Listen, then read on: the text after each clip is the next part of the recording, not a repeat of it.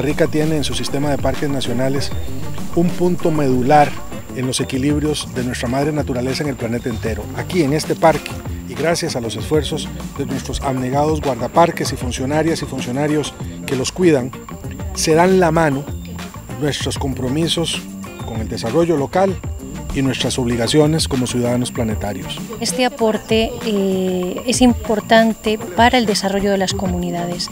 Este tipo de inversión en las áreas de conservación están en un territorio y hay comunidades que ayudan en su gestión y que pueden fortalecer no solamente la protección, sino también esa atención al turista.